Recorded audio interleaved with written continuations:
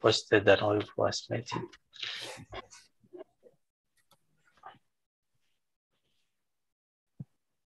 Saluton al ciui carai celestantoi, cae ancao spectontoi de registrajo. Eh, kiel vi vidas, estas la deca ilei forumo en la sesa de maio 2022, cae la temo de tiu ci forumo estas specialajoi de instruado de Esperanto laŭ lingvoi, culturoi cae regionoi.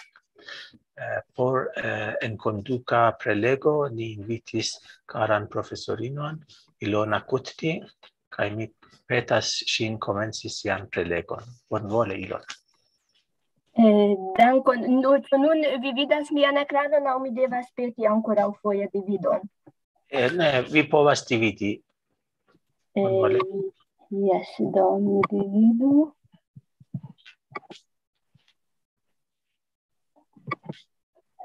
Bone, ĉu videbla estas Jes, tute bone, tute bone. Bone. Fakte estas nur Word eh, dokumento do ne estas tiom eh, bela, sed almenaŭ videbla kaj eh, legebla. Eh, do mi kore salutas eh, ĉiujn kolegojn kaj tiujn, kiuj interesiĝas pri instruado de Esperanto. Mi pensas, ke mia enkonduka prelego eh, nur igos eh, do mi esperas, ke mia enkonduka eh, prelego eh, igos vin discuti. Poste la temo estas tre granda, tro granda por eh, unu horo ja eh, fakte multa in flanco in de Esperanto envolvas eh, kaj eh, se ni komenco diskuti tio daŭros eh, sufiĉe longe. En conduce mi shatus diri calcain eh, aferoin, nome che ni bone sias ciui, eh, che la enhavo cae metodo de instruado dependas de multo, dependas de la celgrupo, eh, de gia agio, de la nivelo de la partoprenantoj, de tio ĉu ni instruas al homogena grupo, do unulingva grupo au al internacia grupo. E dependas anco de la celo, kion ni volas atingi per nia instruado che la studento i povu pli bone paroli au simple comprenu eh, textoin kai eh, dependas ankaŭ de la gepatra lingvo kiun metodon ni eh, uzas kompreneble ankaŭ la kondiĉoj ĉu ni instruas en lernejo en kurso aŭ en intensa eh, somera kurso estas eh, grava. Eh, kutime oni ni diras ke Esperanto estas facila lingvo. Kai ec ni aldonas ke kelkaj ec dekfoje pli facila ol lerni aliajn lingvojn mi dirus che la umia esperto e che al instruisto tion mi eh, fakte considerus eble nur kvin sed ja tio dependas de tio al kiu ni tion eh, instruas. Do ne al kiui Esperanto estas eh, same facila eh, ni scias eh, anco tiun proceson en lingvolernado, che la conata i lingvoi influas kiel ni povas lerni la novan eh, lingvon. Do tion, tion ni devas priconsideri eh, kiam ni parolas eh, pri la facilezzo de Esperanto. Kaj entute kio estas facilezzo? Ni povas tion demandi. Tio estas iu tre simpla nocio, tamen tre malfacile difini. Ni pensu pri la nombro de reguloi de la lingvo. Ni pensu kiom de esceptoi estas en la lingvo, kai ni pensu ankaŭ pri la proksimeco eh, de la nova lingvo al la lingvoi de la lingvo lernanto. Nur menci la plej gravajn che kiuj povas influi eh, kiom grade la lernata lingvo estas facila por la eh, concerna lernanto. Kai nun ni vidu eh, la tiuj eh, tri eh, bazaj aspektoj kiel aspektas Esperanto. Esperanto havas regulo ni bone konas ilin, eh, estas uh, plurai leguio en Esperanto, kai kelkai, ec mi dirus, estas complicai. Pensu pri la ata ita uh, eh, problemo, ĉu ne? Eh, kiu praktike enkondukas ion pli komplikan ol ni eh, kutime havas en nian gepatran lingvon, kaj pro tio ĝi kaŭzas eh, problemon. Eh, do certan nombron da reguloj ni po, devas eh, koni kaj bone apliki. Esperanto ne havas esceptojn, ĉu ne tion ni eh, kutime diras, sed tamen ni devas kalkuli pri la tiel nomata enleksikiĝo. Tio signifas, ke exemple lerneio tio ne estas simple eio kie oni lernas, kie nia regulo tion definas, sed aldonigas iu specifa signifero estas institucio kie ni eh, lernas. Ĉu ne kaj eh, same ĉe tranĉilo ne estas kutime eh, ni uzas tranĉilon por tiu ilo per kiu ni manĝas kaj ne nepre por ĉiuj iloj kiuj eh, tranĉas. Do, se ni usus nur la reguloin, kiuj ni havas, eh, ne nepre eh, ni giuste usus au giuste comprenus la eh, aferoin. Eh, ni devas ancau tion bone eh, compreni. La eh, sekva afero estas ke la vorto provizo de Esperanto estas Europ devena. Do kompreneble por europanoj, kiuj parte eh, tiun vort provizon eh, konas, estas pli facile ol por tiuj, kiu ne konas tiun vortprovizon, ĉar loĝas eh, en Azio kaj eh, ĉiu vorto estas komplete nova vorto. La produktiva vortfarado estas eh, denove io kio estas eh, pozitiva afero do helpas en la lernado.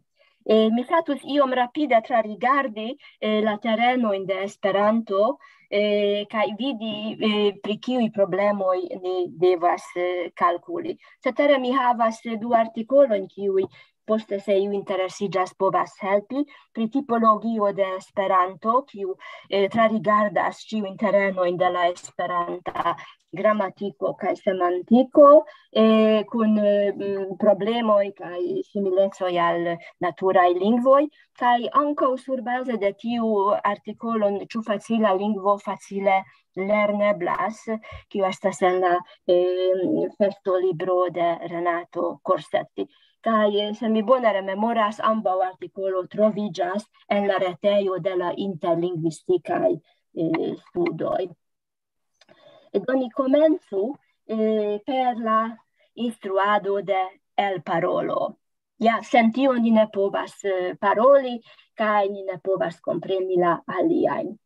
Esperanto havas simplan, averaĝan son sistemon, sed Tamen existas problemai sonoi, char el la eblai sonoi ĉiuj lingvoj elektas sian eh, aron da sonoj eh, ca en Esperanto existas ankaŭ tiai sonoi ciui por kelkaj nazioi signifas problemon.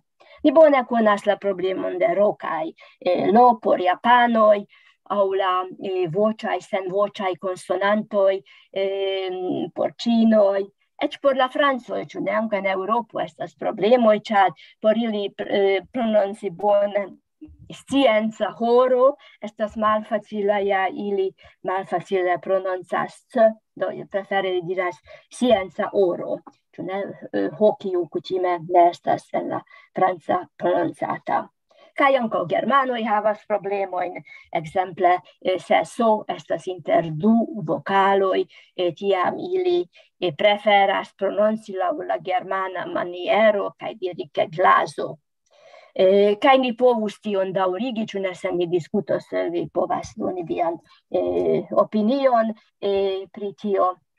Eh, la sekva problemo estas la apero de pluraj konsonantoj eh, kune eh, kiuj denove causas eh, problemon por la eh, e ĉar ilia lingvo construigas el silaboi kia strukturo estas konsonanto vocalo Do prononci straton kai word provision estas uh, malfacila kai ni iom devus eviti. Do mi, eh, se mi atentas, mi ciam eh, skribas eh, diras diras vortoprovizo, eh, por eh, tie pli clare montri la strukturon kaj pli eh, elparolebligi la vorton.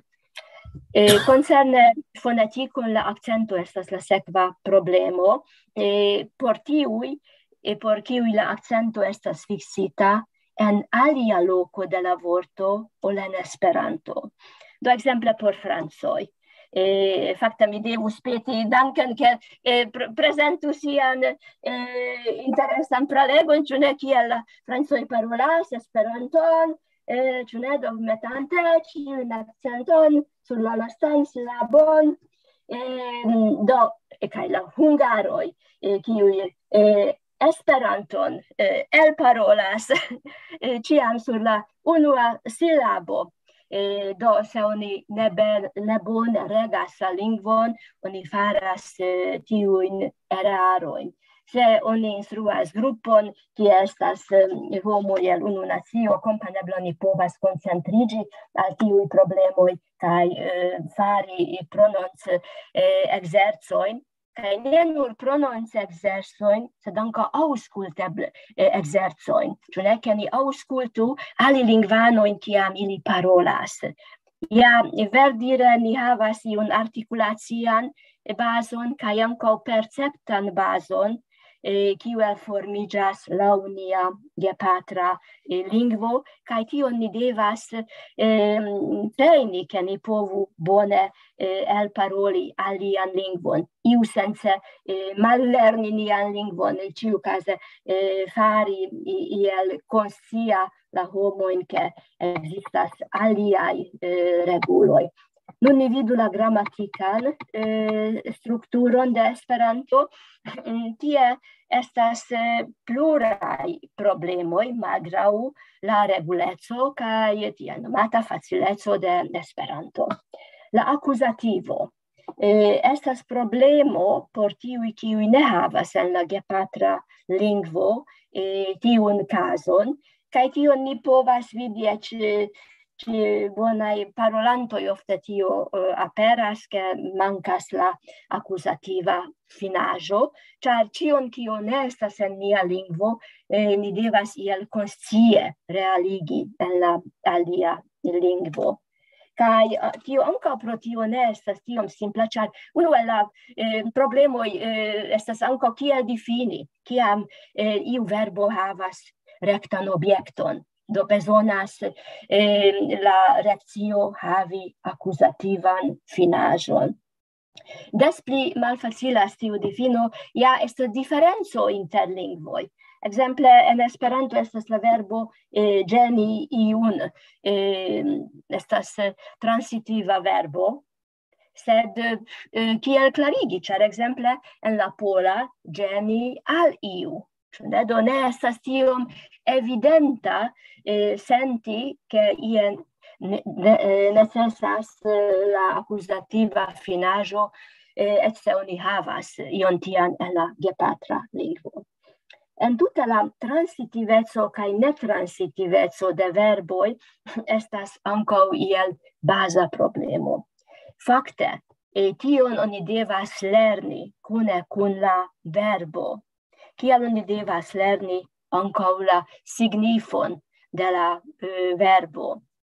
Eh, kaj eh, se ne estas diferenco en iu lingvo, ekzemple en la angla, ĉu ne eh, change something kaj something uh, changes.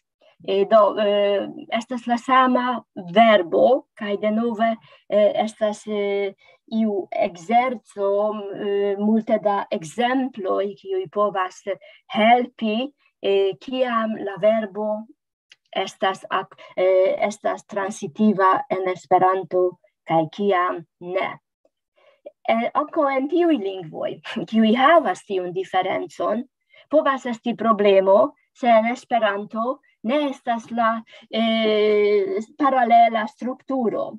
Mi ofte audas en Esperanto, che anstataŭ movi oni parolas movigi. Ĉu ne oni movigas la eh, tablon? Ne, simple oni movas la tablon, eh, ĉar ja movi estas transitiva verbo, kaj el tio oni povas fari netransitivan verbon per la ig eh, sufikso. E, eh, fakte, e, tiu uh, elemento estas eh, de, dependas de la de nove mi revenas al la baza signifo de la vorto. Kaj eĉ se ni prenas verbojn kiuj signifas tute la samon, oni povas vidi diferencon. penso pri la verbo disvolvi. Oni povas disvolvi la kapabloin de la lernanto, et io estas baza verbo, kio estas transitiva, Sed, se ni usas alian verbon, evolui, ĝi ne estas transitiva. Do por esprimi la saman aferon, ni devas uzi la ig finaĵon kaj tiel evoluigi. E, estas sam signifa kiel disvolvi e kai se ni prenas junela ne transitivan formon tiam en caso de evoluigi estas iam la netransitiva kai disvolvigi e ne bezonas ig por esprimi la saman aferon. Do i kai ic verboi, ĉu eh, ne dependas de la baza signifo de la eh, verbo kai tio eh, causas multajn malfacilaĵojn por diverslingvanoj. agordo estas en Esperanto, eh, kiuj ne nepre necesus ja kaj la angla kaj la hungara tute bone vivas en tio, sed estas kaj eĉ ekzistas eh, iom komplikaj reguloj. Ni povas paroli pri brunaj tablo kaj seĝo, brunaj tabloj kaj seĝoj, brunaj tabloj kaj seĝo, brunai tablo kai seĝoj, ĉu ne? kai ĉio havas iom malsaman signifon. Eh, dependas ĉu estas pluraj tabloj aŭ pluraj seĝoj aŭ nur unu. Do tio estas eh, clara regulo, se tamen oni devas pri tio eh, pensi kiam eh, oni eh, parolas, kaj tio iu sense povas malfaciligi la lingvon. La sintaxa strukturo povas eh, shiny simpla, tamen gi povas esti eh, malfacile, exemple por koreoj. Eh, mm, eh Bak givan eh, pritio parolis kai skribis, tune ke por coreo eh, tiu vortordo estas iom malfacila, ke la complemento i venas post la basa vorto, ne? La viro sidanta sur la benco, eh, kai ne tiel che la sur la benco sidanta eh, viro kai eh, en la corea prefere ciu estas antaŭ la basa vorto kai en Esperanto la bona stilo estas che tiu estu prefere eh, poste. Eh, yes, do eh, vorto proviso kai tie ni vidu ĉu kion ni faru. Ofte ni diras, ke ni instruu unu la internaciajn vortojn, kaj tiam oni jam tuj havas iun eh, bonan aliron al la lingvo, ke ni multe komprenas, sed tio ne validas por ĉiuj. tio validas por ni europanoj, usonanoj, ĉu ne? char la internazia i vorto e che al nazio biblioteco bona, granda, paroli, vene ti è plu, tiuj estas eh, vortoi eh, kiui estas Europ devenai. La tiel internazia i vortoi estas eh, praktike eh, latinidaj vortoj plej eh, ofta. Do ne nur eh, Europa estas ĉefe latinidaj eh, vortoj kaj eh, tio estas bona komenco se ni instruas eŭroplingvanojn eh, kai eh, charon iam tu spertas ke ni comprenas esperanto ni povas per tio komenci Eh, sed eh, en eh, Asiaj landoj verŝajne tio ne estas tiom simpla.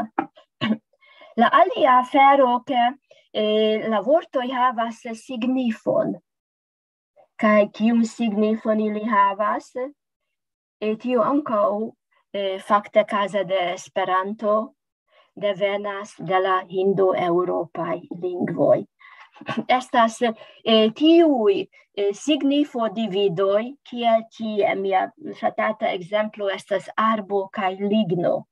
Kio por multaj al intervi estas eh, tute evidenta che estas malsama vorto. Sed ne por ciui, por hungaro estas nur unu vorto. Ja, effektive, oni elhakas la arbon, kai postel tio oni faras la tablon ĉu ne do kial alia vorto. E tiui dividoi estas kutimaj en eŭropaj lingvoj ĉu ne? En la franca en la angla en la germana ĉie tiui vortoi existas anca la familia e rilatoi eh, sequas eh, la eh, cutiman eh, rilaton en la familio en la hind europa eh, contexto do frato fratino kaj tiel plu.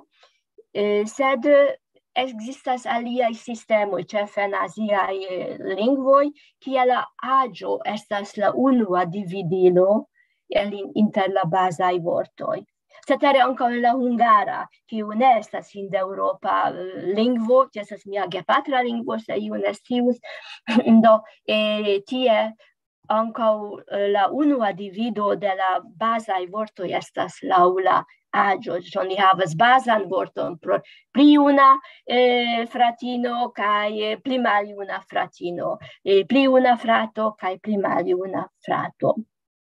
Same la coloroj, tio estas ankaŭ tre colora temo, mi povas diri, ĉu ne, kiuj eh, estas la bazaj koloroj, tre interesa kaj diskutata eh, temo, ankaŭ tio sekvas eh, tiun eh, modelon de la eŭropaj lingvoj. Do ni devas eh, pri tio ankaŭ consigli la lernantojn, cefe la asia in lernanto in cune por kio tio estas eh, alia mondo.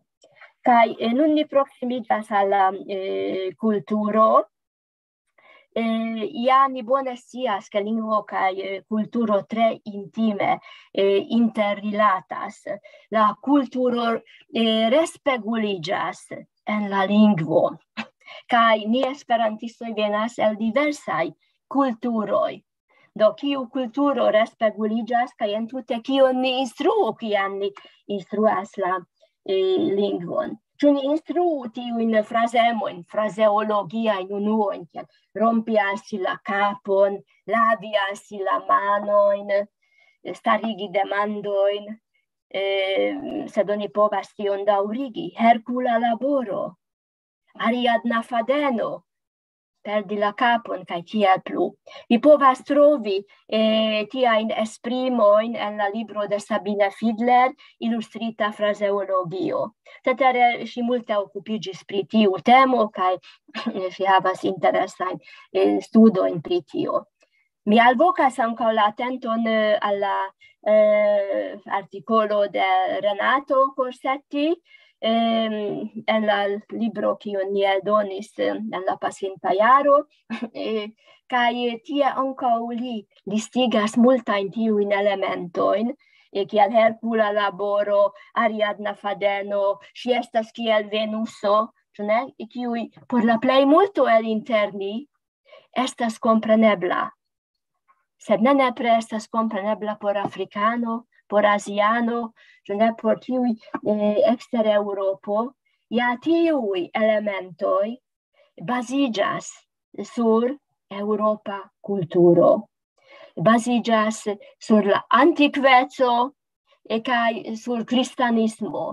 Ĉu ne lavi alsi la manojn, Pilato lavis alsi la manojn, ĉu ne, kiam temis pri eh, au aŭ herkula laboro el la antikvaj eh, tempoi eh, venas anca Ariadna eh, Fadeno kai tiel plu do estas eh, multa tiui esprimoi e kiui enestas en la lingvo ne nepre eh, ofte ni uzas ilin, sed tamen ni uzas ilin eh, kaj estas ankaŭ en literaturajoi kaj eh, mm, no ĉu tion instruu au ĉu tio jam estas speciala eh, europa kulturo. Eh, mi attentigas fin al articolo de Arco de, de Xiao Fengong eh, el Cineo, kiu en la sama mencita eh, libro, kiu eh, estas alirebla en la reto, publicigis ankaŭ articolon eh, pri tio, kio estas diferenzo inter Cinoi eh, kai eh, no, Europanoi. Kai ŝi tiam diras, ke Do eh, ne nepre la eh, e la grammatico estas malfacila, se giuste eh, e tiu eh, kultura ŝarĝiteco de Esperanto. kai tio noni e devas instrui alla cina ĉinaj studentoi Pro tio ni povas diskuti cio effettive e tio on cina studento devas eh, koni kaj ĉu vere e tiom grada nia Europa culturo e influ Esperanton, ĉu ne, kaj multe malpli la e culturo influas eh, ĝin. Ehm, mi ancora mensi esti la proverboin, kiu estas ankaŭ eh, Europ devenaj, la proverbaro de Zamenhof, kiu apartenas al niaj bazaj eh, dokumentoj, ĉu ne? eh, est demando sin eh, eh, demando signebla. Ĉu ĝi vere estas parto de Esperantujo? Eh, ĉar eh, granda parto de tiuj proverboj kiuj aperas en proverbaro estas tradukaĵoj de eŭropaj proverboj kaj ne proverboj kiuj efektive estas uzataj en eh, Esperanto. Do kelkaj plej konataj tiuj en pluraj eŭropaj landoj eh, aperas, eh, tiuj eh, aperas de tempo al tempo ankaŭ en eh, Esperanto, sed mm, pli granda parto el tiu proverbaro ne.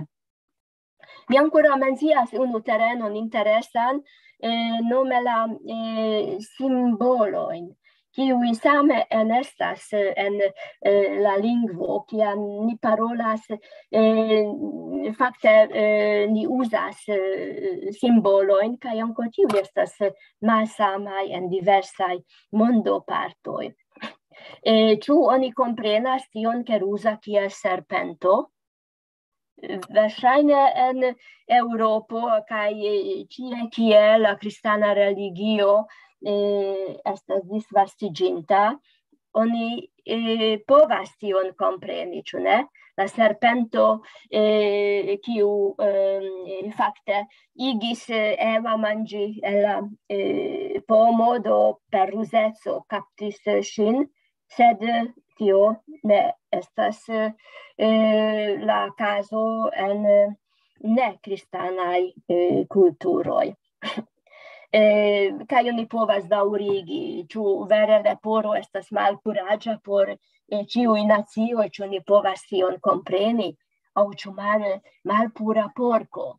Tia mi havis ankaŭ, eh, mi, io miris, ke iu core, coreino, ĉu ne, havis en eh, sia reta adreso porko kial, ehm, eh, eh, ĉu ne por, porko um, por ni multaj ligiĝas al iuj maldecaj aferoj, malpuraĵo kaj tiel plu, do ne pozitiva afero, do kiu havus ion tian eh, sia adreso, sed en Koreio e porco giuste estas simbolo de la bonfarto, ĉu ne? Kaj tiam oni jam eh, comprenas la aferon. Do tiu, pri tiu simbolo ni devas tre atenti, ĉu ni uzas ilin, ĉu ni instruas ilin, ehm au, ehm au ne, kiom grade ili ehm raitas esti en Esperanto au em, ne.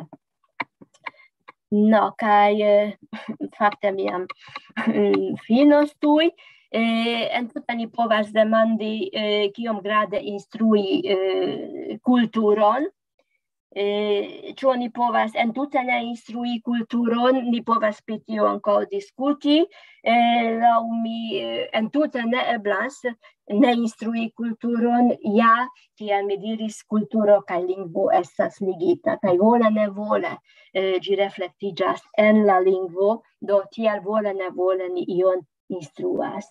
Sed en Esperanto eh, ni povas havi la demandon ĉu iun internacian kulturon ni eh, instruas, ĉu naciajn kulturojn kiuj influas al Esperanto, kie estas Esperanto-centroj, eh, ekzemple, Eh, au eh, ni uzas ni, ni instruas la esperantan eh, kulturon kaj tie pri krokodilado kaj mojosaj eventoj kaj similaj aferoj ni povas paroli. do tio dependas ankaŭ de la kunteksto kiel ni instruas kaj ankaŭ de la nivelo Kai por fini mian eh, presenton mi fakte non legas la concludon de mia articolo pri eh, facileco de Esperanto. La planita malalta complexeco de Esperanto conservigis en la grammatica nivelo dranca la norma rolo de la fundamento de Esperanto. Sed la semantica complexeco crescas pro la prilagigio de la vorto proviso cae procesoi qui ocasas dum la natura uso de la lingvo. Temas pri metaforigio, fraseologiagioi kiel mi mencis. Tamen la lingvo estas grand parte travidebla pro la usado en internazia parol comunumo. La regula sistemo cae la productivo de la reguloi grave contribuas alla facila alproprigebleco de la lingvo, sed quelcae malfacilagioi por diverslingvanoj eh, restas neeviteblai. Do, eh, per tio mi finas eh, mian eh, concisan eh, presenton, kai eh, mi proponas ke ni revenu al diversai terenoi kai vi aldonu vian opinion, se vi, se vi consentas, compreneble. Vi povas havi anco demandon eh, al mi, eh, kai eh, compreneble vi povas komenci per alia afero. Eh, do, mm, mi bezonas la vorton al vi, oni povus eh, discuti pri la eh, el parolo, Eh, ĉu ne kion metodojn vi uzas por eh, instrui al parolon, kion vi pensas pri la sistemo de Esperanto kaj tiel plu, aŭ pri aliaj aferoj. Do volu... Eh. Es dankegon, Ilona, dankegon. Estis ege interesa prelego. Eh, por mi mem eh, estigis multain eh, komentojn au demandoin sed mi lastas la uh, privilegion prioritaton al aliai gastoi do se iu havas komentojn au demandoin bonvole levi la manon au shalti la microfonon kai paroli.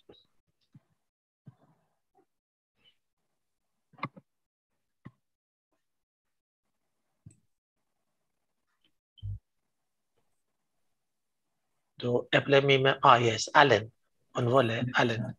Uh, Ilona, vi parolis pri du qui kiun vi scrivis Ĉu mi bone comprenis ke ili estas aveblai ĉe la inter interlinguistica studoj o Yes, en la retejo de la interlingvistikaj studoj, kiujn cetere Alen eh, finis, ĉu ne, sed ankoraŭ eh, antaŭ ol tiuj artikoloj naskiĝis, e, kaj la artikolo pri tipologio aperis jam angle kaj france, eh, sed en la retejo estas en la esperanta formo, eh, ĝi aperis en la aliroj al Esperanto, e tio estis la akademia volumo, kie mi publikigis ĝin Esperante, kaj tiu facilec, ĉu facila lingvo, facila lerneblas, e tion eh, mi publikigis en la festlibro de Renato. Do, Sed si... eh, laŭ mi ankaŭ tio estas en nia retejo. La unua certe estas la dua mi devos controlli ciò ne metis eh, gentia. Do, suffic, sufficias iri alla reteio, esplori, cae oni trovos. Yes, do tie estas publicajo, ĉu ne vi eh, vidas supre. Cetere mi al ciui proponas ke visitu eh, la eh, retejon de la interlingvistikaj eh, studoi, eh, car tie nun estas eh, grava afero, eh, nome eh, pri la novai planatai magistrai studoi. La eh, adreso estas interl eh, amu edu polo. Ne sas vi ancora vidas mian ekranon au ne? Yes, yes, ne vidas. Yes. Yes, do inter amu et upel, kai tia vi povas um, trovi ancau eh, diversain articoloin, in ciuin magistrain eh, studoin eh, certe, eble... Yes, ehm, eh, ancau en Babileio eh, Vita la metis la eh, adreson, ret mhm. adreson mm -hmm. pli eh, detalan. Dankon. Eh, uh, yes, eh, danken, bonvole.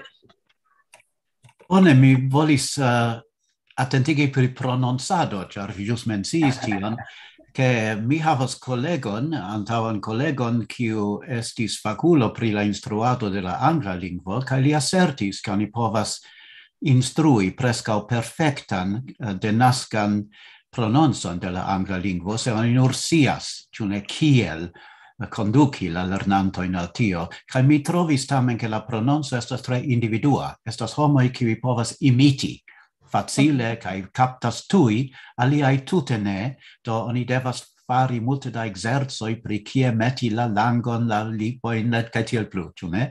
Uh, cae mi volis demandi alla gruppo kiom gravas la prononcado char antaŭ eble kvardeko da jaroi tio estis unu el la ĉefaj aferoj kiujn oni faris en lingvo instruado en Usono, sed ne plu oni multe okupiĝas pri prononcado, kai en la academio estas sekcio pri prononcado kiu ne estas Probaldas Gupta, sed li credas che ne estas vere granda laboro por ni fari por tio.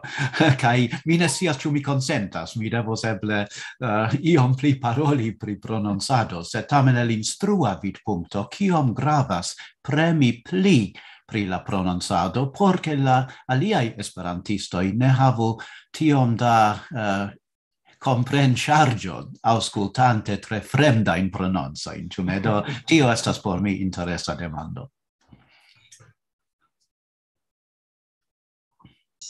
se Ilona ne havas komenton, du Mi povas havi komenton, kompreneble. Vole. Eh, eh, Dio che eh, fakte oni faris ankaŭ esplorojn ke por denaska lingvanoj la prononco estas la plej grava. Eh, se temas pri eh, fremdlingva parolanto, eh, ne pri Esperanto, sed generale, ĉu ne se eh, oni volas esti pli natura en iu fremda lingvo, tiam oni devas uzi bonan prononcon, tio estas eĉ pli grava ol gramatiko sed en eh, Esperanto eh, fakte la prononco ne faras tiun grandan eh, problemon la mi, ĉar eh, oni ne alvenas al alia vorto, kiel en la angla, se oni iom alia prononcas vorton, do eh, povas eh, trafi tute alian vorton kaj alian eh, signifon, kaj kiel Duncan menciis nuntempe ankaŭ kaze de la English as a lingua franca eh, movado eh, emfazas che do ne tiom gravas eh, bone prononci ĉu ne eh, oni prononcu tiel kiel oni oni eh, povas eh, kaj tiel pli facile oni povas eh, aproprigi la eh, anglan sed eh, en Esperanto eh, do mi dirus ke ne la plej grava afero sed tamen eh, por se ju volas bone paroli tiam eh, devus eh, iom strebi eh, pli bone prononci la lingvon. Se oni comparas kun la angla kaj kelkaj aliaj fremdaj lingvoj, e fakte oni povas lerni la bonan prononcon, la prononcon de la gepatra lingvano se ju estas tute juna do estas discutoj pri tio ĉu ne ĉu ĝis adolesca aĝo oni povas ankaŭ alproprigi la bonan prononcon aŭ mm. poste jam ne vere do se oni komencas lerni lingvon en pli granda aĝo kiel estas la caso por Esperanto estas jam malfacile tute bone lerni la prononcon sed ja ne estas tiu diferenco kiel ce aliai lingvoi, che oni ciam povas bona distingi, kiu estas la denaska lingvano, kai kiu estas la lingvo lernanto, char en Esperanto ne ciui estas lingvo lernantoj, ne consideranta tiu in kelkain eh, denaskulojn, kiuj eh, kutime eh, ehm, sekvas la normon de siai eh, gepatroj. Do eh, estus bone en alta nivelo tio necessus, sed ehm, ne, esta, ne, ne nepre havas prioritaton mi eh, tiel pensas. Do, eble. Mi lasso al aliai commentoi, commenti, tamen mi credas che uno e la faciligo de Esperanto estas la equilibro inter consonantoi cae vocaloi. En la angla lingvo la vocaloi ne signifas multon. E estas ciam ne accentita sono, cune en la ne accentitai silaboi, do consonant ne existat vocalo, en la hispana estas tute alie, oni povas paroli nur per vocaloi, e oni diras che iam la malaperos consonantoi e la hispana, sed ni havas tiun equilibron che pli clarigas esperanton por civi. Mi volis nur tion commenti, aliai havas commentoi. Bon. Eh, via Cesla, bon vole.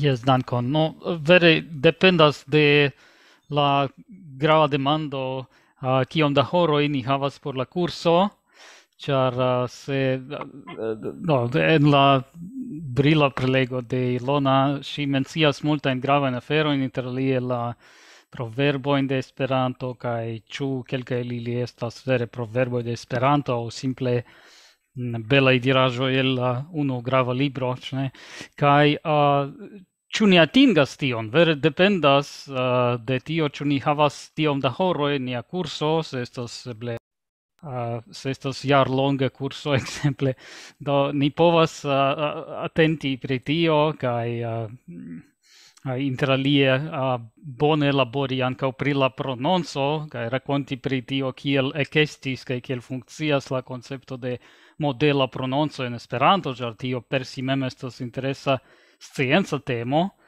che artefarita lingvo e havis uh, ideon de modela prononco kiun dividas uh, homo el diverse landoj. Tio estas interesa temo, sed ne ciam estas io kion oni povas fari en uh, rapida curso tiam oni vere faras en conduco en gramatikon ca esperas che poste homoj mem uh, copios la bonajn ekzemplojn de na ĉu de fluparolantoj au de sia amico almeno, kai inter li, la, la samo validas pri complicajo de grammatico kiel movi movigi shangi shangigi homoi a uh, ne trafe usas tion dum uh, eble jaroi kai espereble kelkai venas ĉu al la progresiga kurso en iu eh, Esperanta konveno, ĉu uh, memstare legas pri tio kaj finfine komprenas kiel funkcias, sed vere en mallonga en konduka kurso ne ĉiam estas loko por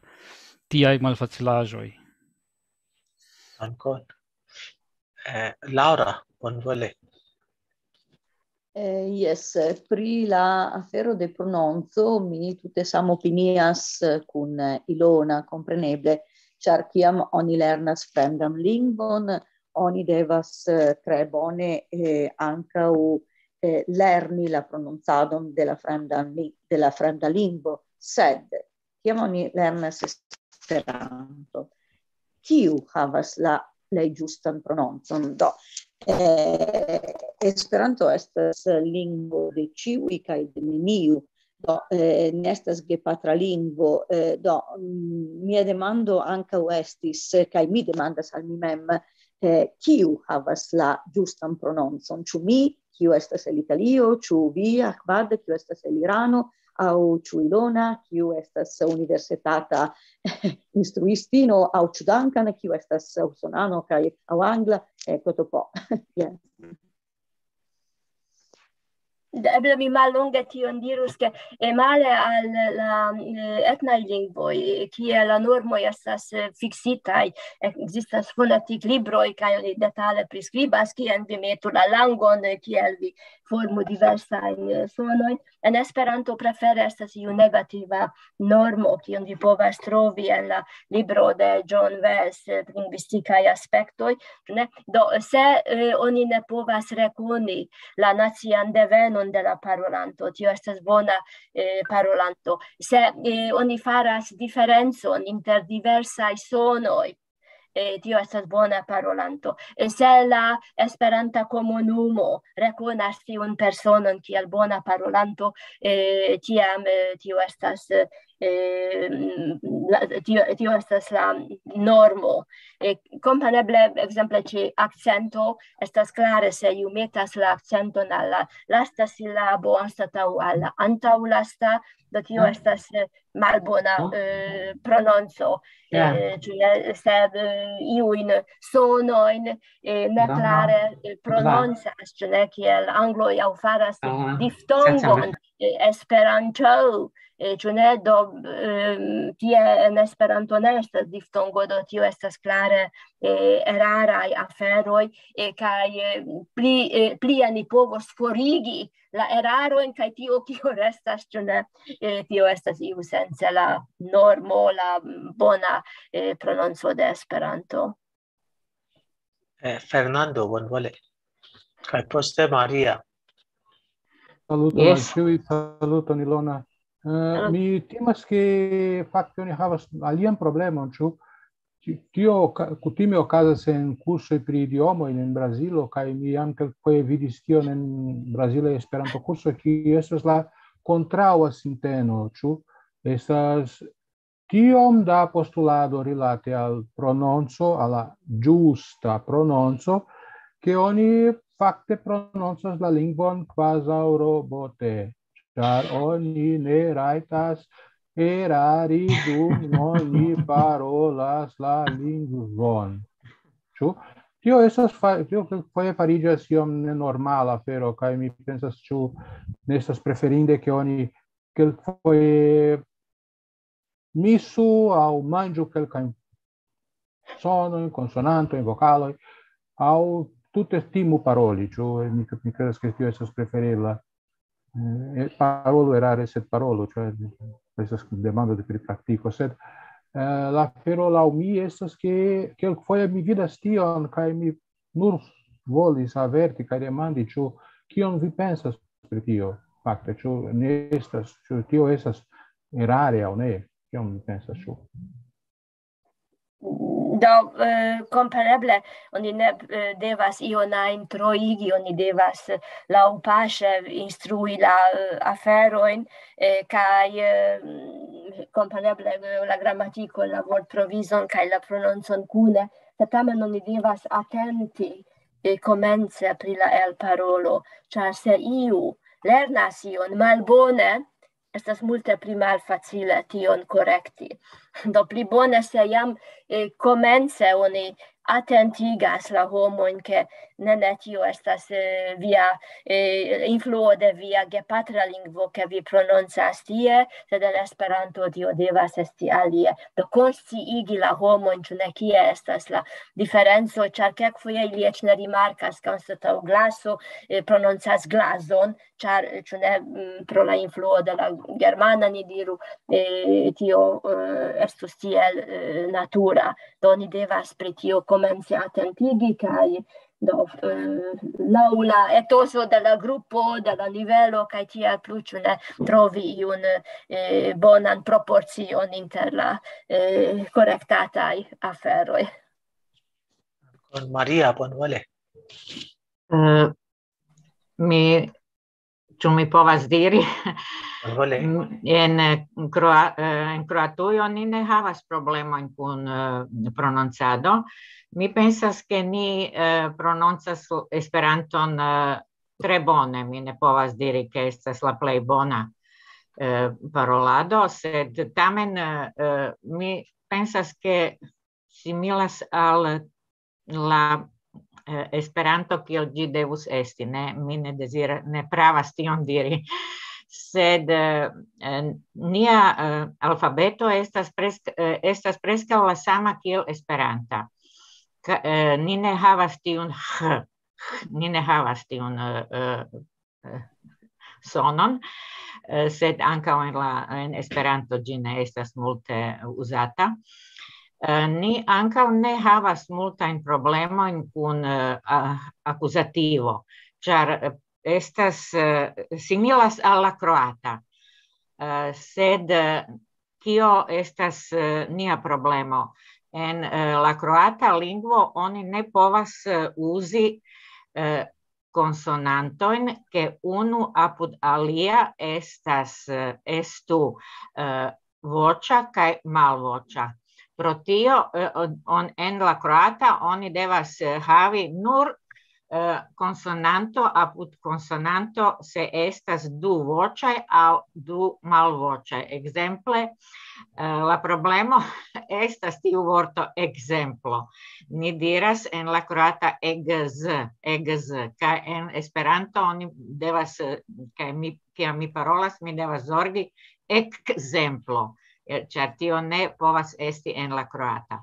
Do mhm. tio uh, mi pensas ke uh, lerni Esperanton en la en Kroatujo ne estas granda problemo. Se mi ankaŭ devas uh, Uh, diri che mi auscultis signoron uh, Duncan Charters uh, lian pro, uh, presentajon kiam li presentis uh, kiel diversa nacia nacia uh, diversa homo el diversa naciecoj parolas la eh, parolas Esperanton. Tio estas tre tre interesa presentajo ĉar li eh, uh, accentis uh, eh, la prononcadon to tion mi desiris diri. Dankon. Eble mi aldonu che eh, tiu um, fenomeno che eh, estas unu apud la alia similaj konsonantoj, tio aperas en multaj lingvoj, tio estas eh, la fenomeno de similiĝo, kaj tio verdire okazas ankaŭ en Esperanto. Do vi ne devas strebi nepre eh, prononci eh, ekzemplo, sed normale paroli. Se oni normale parolas, se oni analizas registritan parolon, do tiam oni aŭdas ekzemplo, do fakte estas go kai zo ambaŭ estas voĉaj sonoj aŭ absoluta Cioè ne en la vorto absoluta tie yes, devus yes. esti posa tie sen vocigas kai eh, plei multo pronuncias absoluta e normala rapida eh, parolo char eh, tio estas eh, cutima afero ki amoni eh, parolas tio se alia afero ki al Zamenhof ne tie skribis char eh, exemple Eh, exemplo en la pola estas eh, scribita per go, da tio estintus tute normale se li anca en Esperanto en conducas la vorton per go, zo, kaj ne ko, eh, ko, eh, zo, do ni ne devas tro eh, eh, in, eh, provi pronunci eh, la sonoin in aparte eh, mi eh, longe occupigis pri parosintezo, kai tio ni povas tion eh, realigi, sed verdire ne sonis nature, se oni tia raurig, eh, realigas la parolon. Do, oni povas eh, normale similigi la sonoin alla eh, sekva kaj tio restos bona Esperanto parolo laŭ mia opinio. Sed kiam vi skribas, vi devas skribi ekzemplo. Yes, yes, ĉar ĉi tamen tiel enkondukis, yes. sed no, tio ni ne volas nun shangi ĉu ne tio estus pli granda ŝanĝo, sed nia parolo simple eh, plej ofte ŝanĝas tion. Vi pro tio mi diras che tiu eh, eh, che ni diras che unu litero unu sono eh, tio eh, ver dire eh, ne estas 100% vera char eh, tiu il processo de similigio ocasas kai eh, tiam ne in ciui contextoi la sama litero prononcigas eh, sama en la normala rapida parolo. Yes, yes. Bonvole, danken. Yes, mi consentas con Ilona, effective, se oni diras absoluta anstato absoluta, tutte ne estas iu compren problemo, ciu ne do tio estas relative natura assimiligio inter tivi du consonantoi, uh, eh, mi anca consentas che estas tre bone attenti prononsadon comence porque ne fossili igiu, tio estas la faca termino, cunem ne? Fossili igiu mal giusta pronunciado, sed anca consiu che nun la nunai uh, lingvo acirai teorioi, por multe lernantoi la capablo conformigi sian pronunson alla normo farigas pli facila ju pli oni auscultadas bonain modeloin, do oni ne insistu tro comence uh, pri perfecta pronunciado, char ju pli oni audas la lingvon, des pli oni povos ausculti la modelain sonoin cae conformigi. Do tio esas alia afero, ciu ne, ciun alportas la nuna lingva acira teoriado, ciu ne. Mm -hmm. Yes. Eh, por iri al alia parto de paroloi de Ilona, mi volis paroli pri tiu, eh, tiu che vi diris che la influoi de europai etsoi sur Esperanto estis eh, multe pli ol ali eh, aliai lokoj. Mi volas tion diri che tiu estis tute nature okazinta, kial char europanoi pli verkis, pli utiligis, pli disvastigis Esperanton. Do kiam ein azianoj anka faru tion, eh, ili enigos siajn vortojn, siajn dirmanierojn, frazeologiojn kai tiel plu. kai mi en eta, tre eta scalo tion spertis, kiam mi estas ion tradukanta el nia eh, literaturo au miaj kolegoj. Vi vidis lastatempe ekaperis ĉe impeto eh, floreio de Sadio estas estas eh, malnova persa literatura eh, verko kiam eh, miei kollegoj estis, miei amico estis traducantai, tion ili multon enigis en Esperanto, vole ne vole. Do Esperanto havas tion potencialon, tion infrastrukturon por eh, alsorbi, ĉu ne, kian ein eh, ver dir manieron kaj tiel plu. Yes, sed efektive ĉu ne eh, Esperanto havas eh, inkluzivan kulturon kiel old iam eh, diris tion kaj ensuĉas eh, kulturaĵojn el diversaj lingvoj, sed eh, mi simple montras ke momente ankoraŭ la eŭropa influo estas pli granda eh, kaj eh, se pligrandiĝos la influo de aziaj eh, lingvoj Eh, ankaŭ tiam en eh, tiu eh, frazeologiaĵoj tio povas, sed la baza semantika sistemo de Esperanto jam estas fixita Do ekzemple ke estas arbo kaj ligno, ĉu ne estas tiu diferenco, tio jam ne ŝanĝiĝos. Do kiel la lingvo e facte segmentas la mondon kiel oni e, diras au kiel la lingvo etikedas la mondon per siai vortoj. Tio iam estas eh, farita kaj tio estas eh, europeca. Sed la eh, esprimoj tio tiuj e, povas eh, pliricigi tutte giuste jes. Dankon se estas alia commento al demando. No, uh, pri uh, tio uh, estas du libroj uh, stupoi al pli alta niveloi, kai uno estas de William Old, alia estas uh, China lingvo. La titoloi estas prescao la sama. Kai kiam vi legas la, la Chinan, vi sentas che estas Cina ja estas mine mine mi, mi legis tion antaŭ longe sed vi sentas ke estas ĉina ĉa eh, uh, frase strukturo de la frazo kaj tio estas ĉina ne estas uh, old or No, mm-hmm. eh, Esperanto pro sia fleksebleco permessas che ni iel transdonu diversain strukturo kai mi kutime diras mi prelegas al ne esperantisto ke tio estas granda avantaggio de Esperanto ke ne mi kiel lingvo parolanto devas adaptigi al la lingvo kai tio okazas kaze de etnai lingvoi sed la lingvo adaptigas al mi. Mi povas multe pli bone esprimi mian propran pens manieron, mian propran uh, kulturon.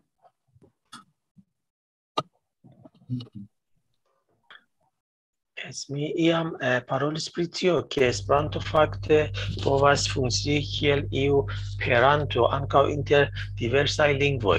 Imagu, ke el diversaj etnaj lingvoj envenu en Esperanto diversaj eh, dirmanieroj, frazeologioj kaj tiel plu.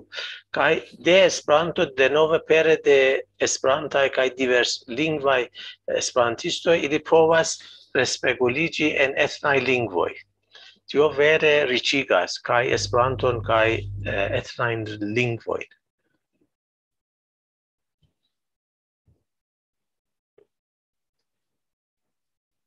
Bone, ĉu estas eh, aliaj demandoi au commentoi?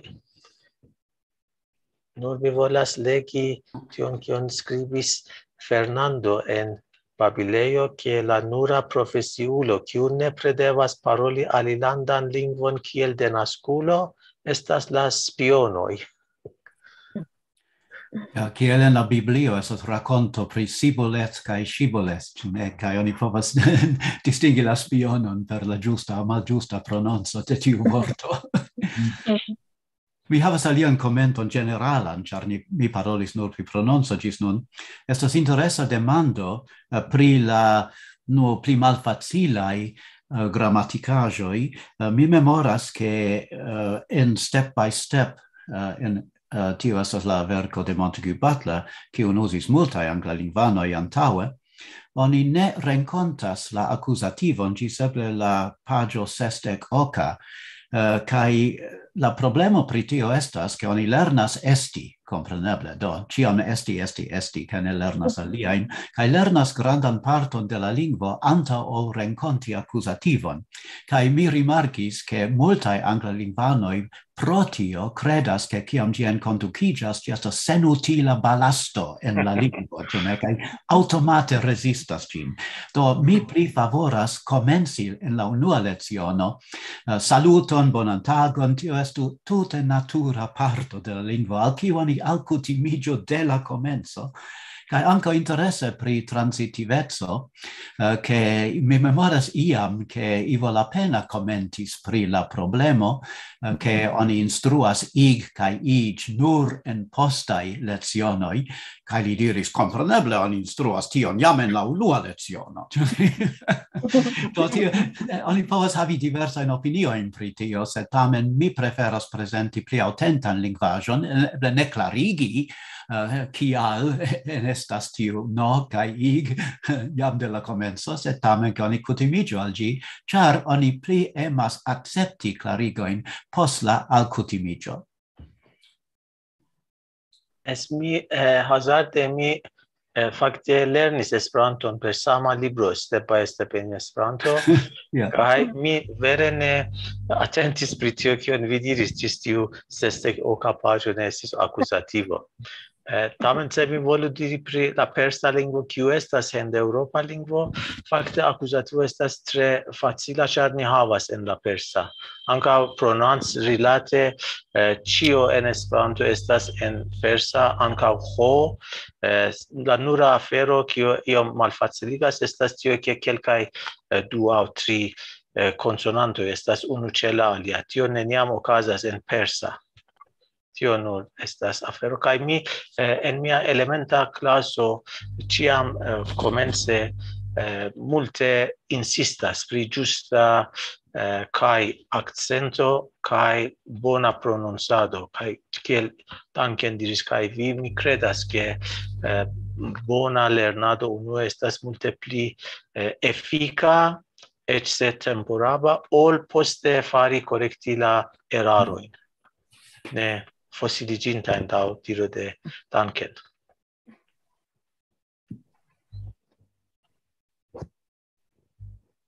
Yes, Carlos, bonvole. Saluton al ciui. Uh, mi havas kelkajn um, komentojn, sed eh, eble eh, mi espere, espereble mi eh, estu comprenata. Do La umi estas grava fero que lerna, eh, instruisto y devas eh, studi iomete pli malpli la internazia fonetica en alfabeto, ne? Por porque oni comprenu eh, la malsamon inter nasai vocalo nasai eh, consonanto y por un kai uh, eble zo kai so. Mi mi ancora havas problemo pri tio, sed mi klopodas, eh, mi klopodas eh, plibonigi tion, char en mia denaska lingua oni ne havas la zonon zo. Tamen, eh, kiel diris, mi, mi, mi ne memoras kiu parolis pri la eh, paroli kiel roboto, pro tio oni devas... Eh, la limo estas eh, tre malgranda inter accento kaj accento, ĉu ne? Do oni devas eble sorgi pri la accento, sed ne tro multe pri la accento, estas la afero por oni ne sonus eh, kiel roboto se se oni permesas la accento de la la accenton de la parolanto ĉu ne? Kaj jes mi mi mi mi samopinias ke oni devas instrui akuzativon de, de la komenco. Eh, en en Mi con mi lernanto ni studas eh, kiam oni komencas studi verbojn ni jam eh, prisorgas pri la diferenco inter transitivaj kaj netransitivaj verboj kaj tiel oni instruas unue esti sed oni jam sias ke tio estas netransitiva verbo kaj poste havi kaj oni eh, eh, li pensas pri la diferenco entre esti kaj havi. Tio estas jam de, de la komenco de la kurso kaj ili oh oni bezonas akuzativon kiam la verbo estas transitiva. Kaj ili eh, mi, mi invitas al mia y krei listojn. Tiu verbo estas transitiva tiu verbo estas ne transitiva kaj kaj ni ni faras eh, tiel la la la instruado estas mia komento. Mm-hmm. Do, verŝajne vi eh, havas eh, lernantojn aŭ studentojn en la universitato kiuj eh, fakte eh, konas kio estas transitiveco kaj fonetik eh, internacia fonetika alfabeto. Se estas studentoj ĉu ne ĉefe se ili studas lingvojn vi povas tion fari, sed eh, kun eh, iuj eh, grupo de emeritoj kiuj jam delonge forgesis gramatikajn nociojn vi ne povas eh, paroli pri akuzativoj transitivoj pri transitiveco vi ne povas paroli kaj nek pri internacia fonetika alfabeto do mi diras tion kion per kio mi komencis mian eh, prelegon ke oni devas eh, ciam rigardi al kiu ni instruas ĉu ne? Eh, kion ni povas kiel ni povas eh, instrui. Kaj ĉe Mm, la transitiveco de verboj et estas grava afero, sed mi ancora atentigas che estas eh, aliai reaccioi de la verboj kiuj eh, ankaŭ estas eh, gravaj kai ni devas eh, pensi ankaŭ pri ili, do exemple pensi eh, franzoi dirus che mi pensas al eh, kai tio estas tipa francismo char pensi a eh, sed en Esperanto tio estas pensi pri do la eh, recta objekto estas unu el la eblaj komplementoj eh, de la verbo kvankam la plej eh, grava sed eh, ni devas ankaŭ pri la aliaj atenti ke ni bone uzu ilin. Ai unu manco ce PIV facte estas tio, che ne montras, et se vi legas pri tiu au alia verbo, la tutan texton, et cun tiu exemploi vi ne comprenas, che cun tiu verbo vi devas, vi povas utiligi kiuin prepozicioin. Lav mi oni devas tion por ciui verboi, gis eble meti.